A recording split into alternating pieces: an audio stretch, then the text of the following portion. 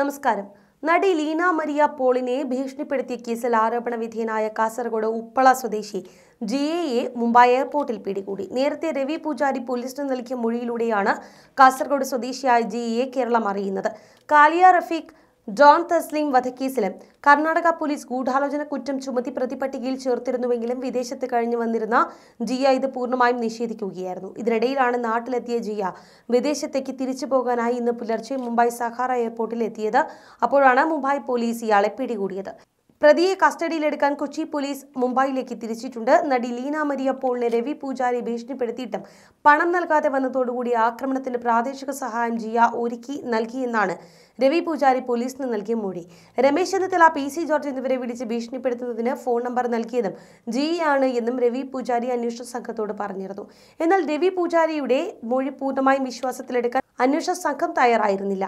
പ്രതി അറസ്റ്റിലായതോടുകൂടി മുഴുവൻ കേസുകളിലും വ്യക്തത വരുമെന്നാണ് പോലീസ് കരുതുന്നത്. അതേസമയം ലീന മരിയ പോളിനെ പോലീസ് മറ്റൊരു കേസിൽ അറസ്റ്റ് ചെയ്തിരുന്നു. ഡൽഹി പോലീസിന്റെ സാമ്പത്തിക കുറ്റകൃത്യ വിഭാഗമാണ് നടിയെ അറസ്റ്റ് ചെയ്തത്. വ്യവസായി ശിവിന്ദർ സിംഗിന്റെ ഭാര്യയെ കബളിപ്പിച്ച് ഇരുന്നൂറ് കോടി രൂപ തട്ടിയെടുത്ത കേസിലാണ് അറസ്റ്റ് ഉണ്ടായത്. അധോലോക കുറ്റവാളി രവി പൂജാരിയിൽ നിന്ന് തനിക്ക് നെറ്റ് കോൾ ലഭിച്ചിരുന്നുവെന്നും സംസാരിക്കുന്നതിനിടയ്ക്ക് ഫ്രാങ്കോയെ രക്ഷിക്കാൻ ഇറങ്ങാൻ തനിക്ക് എന്ത് കാര്യം എന്ന് മലയാളത്തിൽ ചോദിച്ചതായും പി സി ജോർജ് ആരോപിച്ചിരുന്നു. എന്നാൽ ഇത് തെറ്റാണ് എന്ന് രാഷ്ട്രീയ ശത്രുക്കൾ പറയുകയും ചെയ്തിരുന്നു. ഈ അറസ്റ്റോടുകൂടി പി സിയുടെ വാക്കുകൾ ശരിയാണ് എന്ന് വ്യക്തമാകുന്നു. രവി പൂജാരി പി സി ജോർജിനെ വിളിച്ച കാര്യം കേന്ദ്ര ഇന്റലിജൻസ് നേരത്തെ സ്ഥിരീകരിച്ചിരുന്നു. പി സി പറയുന്ന ദിവസം ഓസ്ട്രേലിയയിൽ നിന്ന് പി സിക്ക് ഫോൺ കോൾ എത്തിയിരുന്നു. ഇത് വിളിച്ചത് രവി പൂജാരി എന്നാണ് പോലീസ് അന്വേഷണത്തിൽ വ്യക്തമായത്.